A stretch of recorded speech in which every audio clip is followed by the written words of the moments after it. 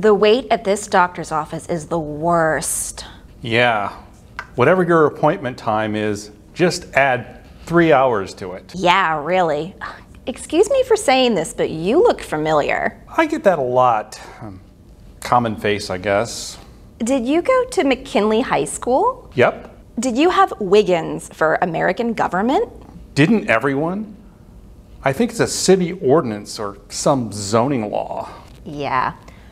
You're Brad Phillips. Yes, and uh, you're, uh, I could have the tip of my tongue, don't tell me, Linda, Linda Johnson. Close. Linda Jeffries. Uh, Linda Adams now, but who's counting? Not me. You were so great in high school, Brad. Do you remember what I signed in your yearbook? No, I, I wish I could remember, but the old noggin's a little foggy. Stay cool. Stay cool. Oh, that's kind of neat, I guess. Did you? Did I what? Stay cool. I don't know. Probably not, I guess. Geez, Brad, you used to wear those faded Levi's and you had the Marlboro cigarette box nestled in your t-shirt like some suburban James Dean. You were so cool, Brad. Y- yeah, Linda, that was that was a long time ago. But Brad, you were the one that was different. You were going to go to New York or LA and start your own avant-garde theater company and then break into movies through the back door. Yeah, well, Linda, I got to Kansas City, Missouri, about the halfway point there, and did some dinner theater for a couple of years, you know, Neil Simon, the whole thing. But then the place went chapter 11. After that, I needed a job and I kind of fell into a part time sales position. And, well, one thing led to another, and I've been regional sales manager for a kitchen appliance manufacturer, the largest in the tri state area. Tri state area? What about your music, Brad? All those songs you wrote on your 12 string guitar. I thought you would be headlining at Coachella. Coca Coca Cola? Coca what?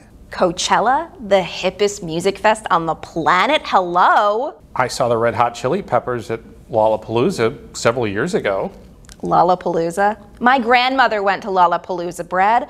Stay cool. Geez, Brad, when someone writes something like stay cool in your yearbook, the least you could do is try to honor their suggestion. I need a Xanax. I need a Valium. I need a Xanax and a Valium. Keep it together, girl. Keep it together.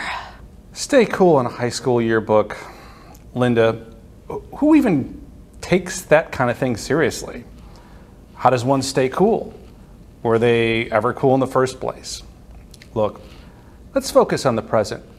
Why don't you and your husband join me and my wife at Rancho Paz's? They have a Taco Tuesday night from 7 to 10.